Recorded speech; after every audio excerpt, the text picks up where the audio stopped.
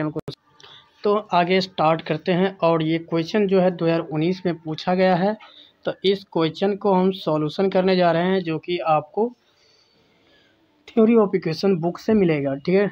ये paper one में आता है और ये पेपर वन का ये क्वेश्चन यहाँ पे कह रहा है क्या कि so that in an equation with real coefficient imaginary roots occurs in conjugate pair अगर यहाँ पे किसी भी इक्वेशन का रियल कोफिशेंट्स है, इसका इमेजनरी रूट होगा तो वो उसका कंजुगेट रूट भी पेयर होगा, ठीक है? मतलब उसका एक और रूट जो होगा, वो कंजुगेट होगा।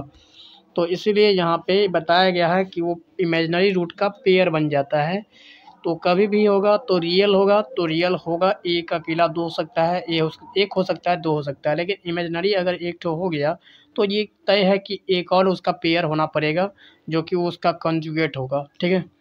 तो ये कॉन्जुगेट होगा और ये क्वेश्चन है और साथ में ये बी नंबर क्वेश्चन जो है, इसमें बोल रहा है कि find the equation of equation that the root alpha beta gamma delta of the equation this should be connected by the relation alpha beta is equal to gamma delta. So now start करते हैं ये question first को। तो ये first number question का proof देख सकते हैं। आपको इस तरीक़ा से हम प्रूफ करेंगे कि इसमें मान लेंगे हम कि ये alpha plus i b, beta जो है, एक रूट है पोलिनोमियल का, ठीक है? ये given polynomial f x equal to जो कि ये एफ़ एक्स जो है आपको दिया रहेगा, ठीक है? ये एफ़ एक्स आपको दिया रहेगा तब, लेकिन यहाँ पे हमको दिया नहीं है तो हम आपको यहाँ पे एफ़ एक्स निकाल के दिखाएँगे और उसका रूट दिखाएँगे। तो देन यहाँ पे we have to prove that यहाँ पे अल्फ़ा माइनस में i beta is also a root of the equation then यहाँ पे डिवाइड करेंगे हम, ठीक है?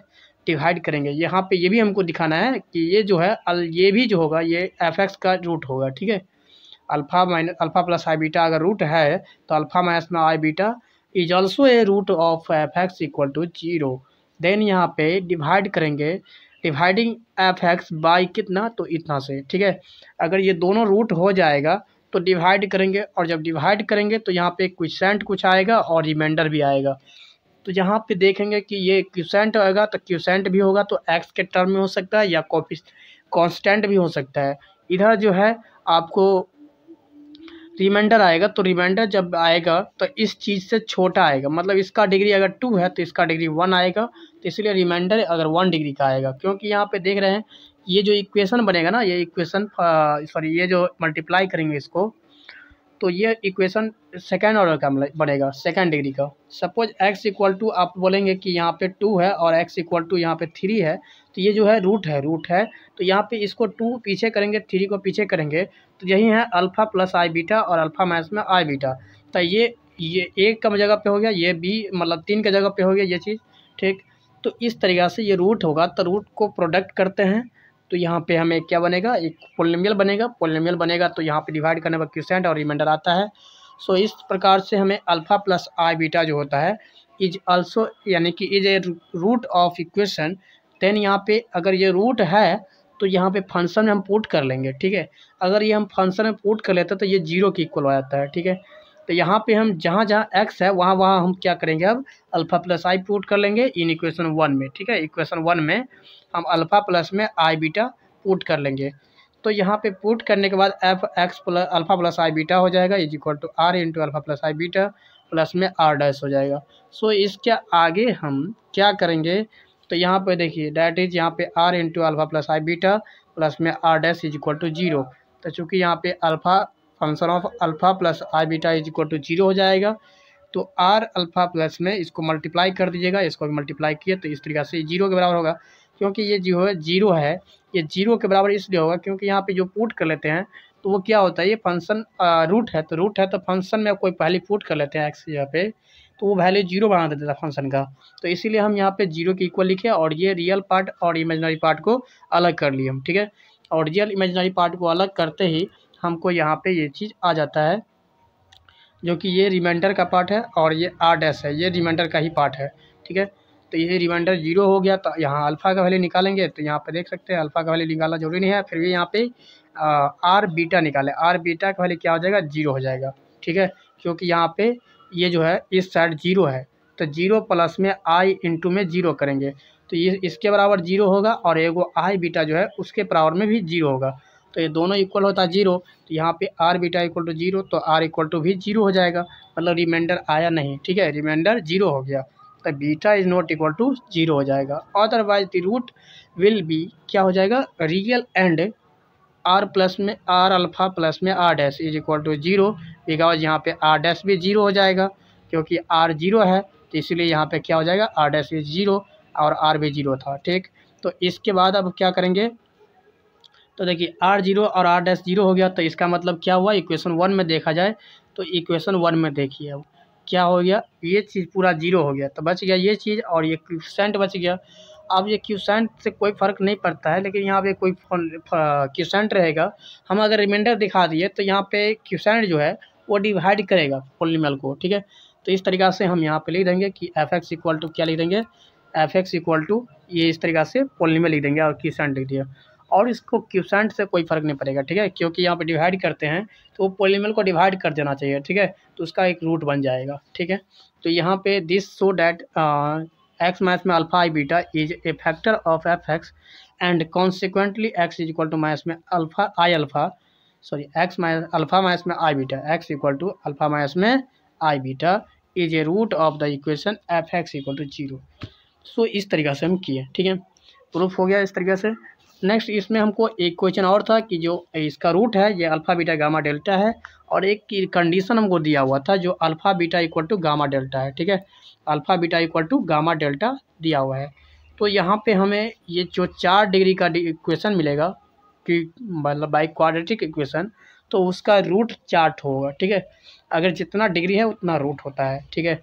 तो यहाँ पे अल्फ़ा बीटा गामा डेल्टा ये सब रूट है तो ये चारों का सम जो होगा, वो माइनस पी के इक्वल होता है, क्योंकि यहाँ पे माइ एक्स के पावर थ्री बाई यहाँ हो जाएगा, एक्स के पावर फोर के इक्वल हो जाएगा, ठीक है? तो एक्स के पावर थ्री माइनस में पी हो जाएगा। फिर यहाँ पे इस तरीके से ये निकालेंगे तो यहाँ पे क्यू बाई क्या हो जाएगा? तो आर का वैल्यू वन हो जाएगा यहाँ का वैल्यू वन है। मतलब एक्स के पावर में फोर और इसके कोफिशेंट कुछ नहीं है तो यहाँ वन होता है। तो इसीलिए यहाँ पे ये हो गया इक्वेशन क्यू के बराबर हो गया। अब यहाँ पे देखिए, ये तीन तीन करके मल्टीप्लाई करते माइनस आर के बराबर होगा और यहाँ पे चारों का मल्टीप्लाई करता है एस के बराबर होगा, ठीक है? तो इक्वेशन चार तक हो गया और ये पाँचवा इक्वेशन जो है गिवन है, ठीक है? पाँचवा इक्वेशन गिवन है तो यहाँ पे प्रॉम चार और पाँच को हम सॉल्व करेंगे। तो यहाँ पे देखिए, ये जो पाँचवा इक्वेशन है, इसमें अल्फ़ा बीटा के जगह पे हम गामा डेल्टा अगर पुट करें या गामा डेल्टा के जगह पे अल्फ़ा बीटा पुट करते हैं तो यहाँ पे अल्फ़ा बीटा का होल स्क्वायर हो जाएगा। ये गामा डेल्टा के जगह पे अल्फ़ा बीटा तो अल्फ़ा बीटा और अल्फ़ा बीटा तो टू अल्फ़ा बीटा का स्क्वायर हो जाएगा इज़ इक्वल टू एस के बराबर। इसीलिए यहाँ पे अल्फ़ा बीटा और गामा डेल्टा का वैल्यू कितना होगा? अंदर रूट एस के बराबर हो जाएगा, ठीक है? जब ये एस के, अंदर रूट एस के बराबर हो गया तो ना हम यहाँ पे क्या करने वाले हैं? फिर यहाँ पे हम नाउ इक्वेशन थर्ड में जाएँगे और इक्वेशन थर्ड में क्या हो जाएगा? अल्फ़ा बीटा इंटू में यहाँ पे देख लीजिए थर्ड इक्वेशन यहाँ पे है, ठीक है? ये इस इक्वेशन में जाएँगे। तो थर्ड इक्वेशन में हम अल्फ़ा बीटा अगर कॉमन ले लेते हैं तो ये गामा प्लस डेल्टा और अगर gamma plus gamma delta common होता है तो यहाँ पे अल्फ़ा प्लस बीटा होता है। तो इज़ इक्वल टू कितना आ जाएगा? माइनस में आर के इक्वल ठीक है? तो इसके बाद यहाँ पे हम क्या करने वाले हैं? तो ये अंडर रूट एस यानी अल्फ़ा बीटा और गामा डेल्टा के जगह पे अंडर रूट एस होता है। तो ये अंडर रूट एस कॉमन होगा तो alpha beta beta gamma gamma delta इस तरीके से आ जाएगा। तो इस चारों का वैल्यू क्या होता है? तो ये माइनस में पी हो जाएगा। तो यहाँ माइनस पी और ये अंडर रूट एस है। इसको मल्टीप्लाई कर देंगे तो ये इतना आ जाएगा और यहाँ पे दोनों side squaring on four side कर देंगे।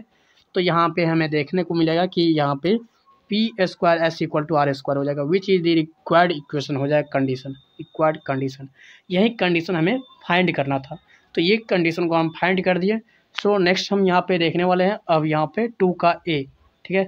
टू का ए ये भी क्वेश्चन जो है, दोनों, यानी कि ए और बी जो है 2019 में पूछा गया क्वेश्चन है, ठीक है?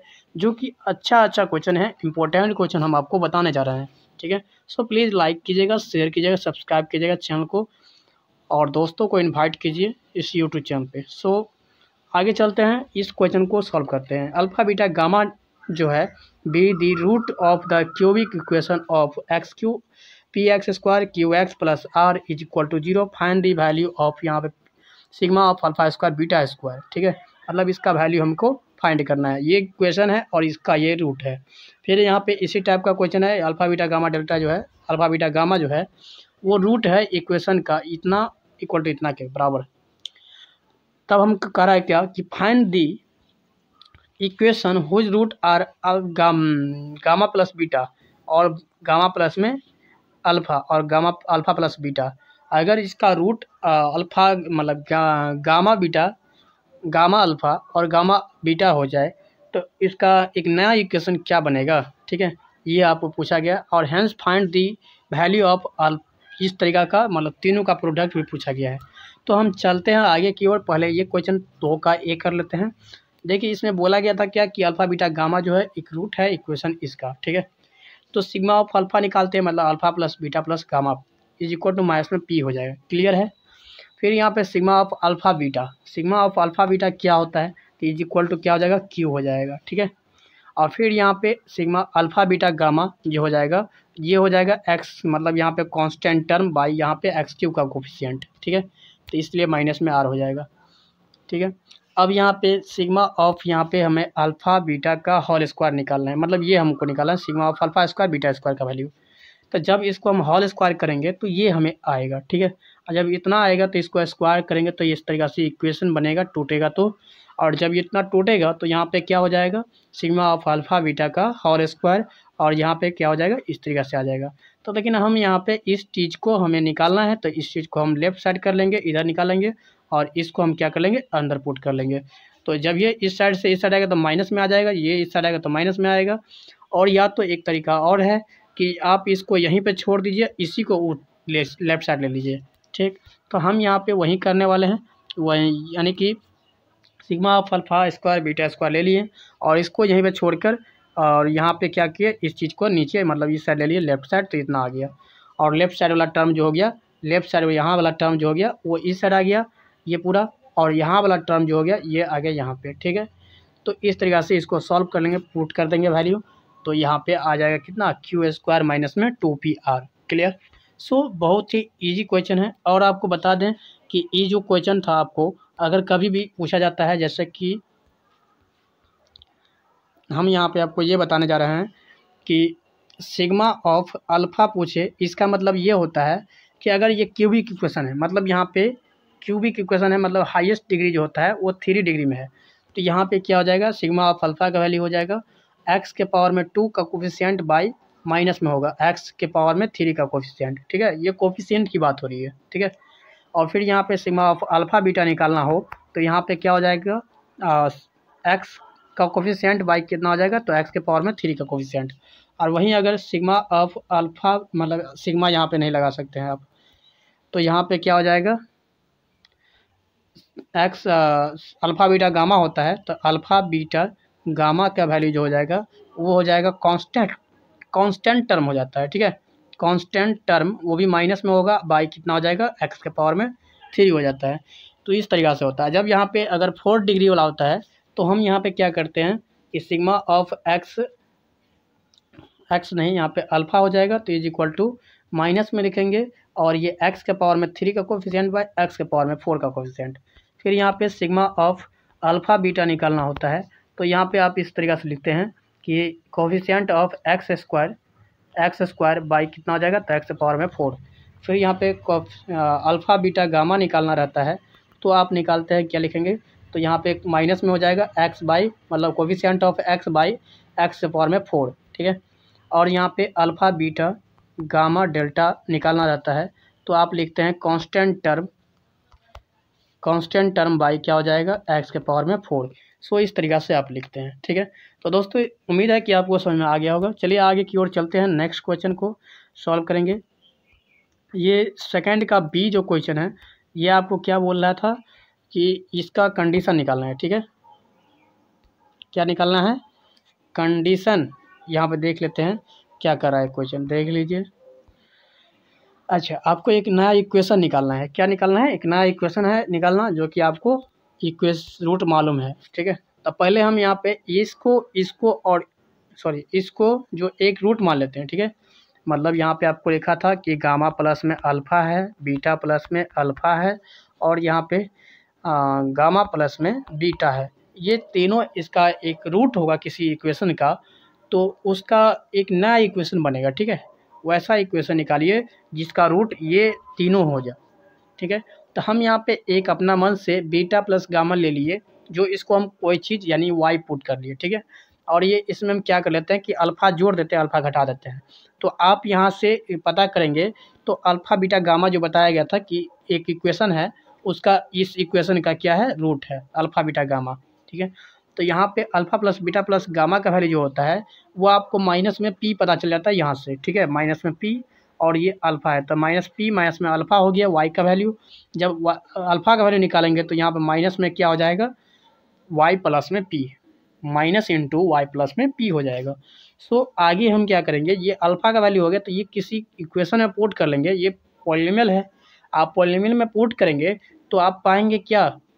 कि ये जो इक्वेशन बनेगा ये अल्फ़ा है ना तो अल्फ़ा का वैल्यू हम पोर्ट कर लेंगे इसमें तो ये इक्वेशन बन जाएगा। तो ये वो इक्वेशन जो बनेगा वो देख सकते हैं, आप यहाँ पे देख रहा होगा आपको इस तरीक़ा से वाई में इक्वेशन आ गया। जहाँ जहाँ अल्फ़ा था या ये इक्वेशन जो देख रहे हैं एक्स अल्फ़ा में है, लेकिन ये इक्वेशन एक्स में भी दिया है क्वेश्चन में, ठीक है? तो हम यहाँ पे एक्स में नहीं लिखे हैं। तो यहाँ पे वाई में आ गया अब। जहाँ जहाँ अल्फ़ा था, वहाँ वहाँ पुट कर दिया वाई प्लस में पी का हॉल क्यू मतलब पी प्लस वाई प्लस में पी पुट कर दिया, ठीक है? तो यहाँ पे वाई प्लस में पी का हल क्यों हो गया? फिर माइनस वाला जो प्लस कर दिया प्लस वाला माइनस कर दिया, इस तरीके से इक्वेशन बन गया, इतना इसको छोटा करेंगे तो इतना आ गया। फिर यहाँ पे ये यह हो गया वाई स्क्वायर का कोफिशियंट यहाँ हो गया वाई का कोफिशियंट ये हो गया कॉन्स्टेंट टर्म सो इस तरीका से वाई के टर्म में इक्वेशन आ गया, ठीक है? तो इक्वेशन वाई के टर्म में आ गया। तो इसका जो लास्ट टर्म जो हो गया, यानी कि ये जो कॉन्स्टेंट टर्म होता है, ये प्रोडक्ट ऑफ़ यहाँ पे रूट्स होता है, ठीक है? तो ये alpha beta gamma gamma alpha और अल्फ़ा बीटा जो है, तीनों प्रोडक्ट है। ठीक है, तीनों रूट का प्रोडक्ट है और ये तीनों जो है, इस इक्वेशन का रूट है, ठीक है? इस इक्वेशन का रूट है, ठीक? जब इसका रूट है तो इस दोनों का प्रोडक्ट जो होता है, वो कांस्टेंट टर्म होता है, ठीक है? और क्यूबिक इक्वेशन है तो ये माइनस में आ जाएगा, ठीक है? और अगर बाई क्वाड्रिक होता तो यहाँ प्लस में होता। तो इस तरीक़ा से ये आ गया आर माइनस में पी क्यू सो इस तरीक़ा से नेक्स्ट वीडियो में हम इस क्वेश्चन को करने वाले हैं, जो क्या क्वेश्चन है, क्या? कि सॉल्व दी इक्वेशन इतना by using Cardan's method and यहाँ पर remove second remove the second terms of the equations इतना। मतलब इस इक्वेशन से सेकंड टर्म आपको रिमूव करना है, उसको हम सिखाएँगे। और यहाँ पे इक्वेशन का कार्डन्स मेथड्स के द्वारा सॉल्व करना है तो वो हम आपको नेक्स्ट वीडियो में सिखाएँगे। तो अब कॉमिंग वीडियो का देखने के लिए आप कृपया इस यूट्यूब चैनल को सब्सक्राइब कर लीजिएगा। और ये वीडियो अच्छा लगा हो तो लाइक करके जाइएगा। So thanks for watching this video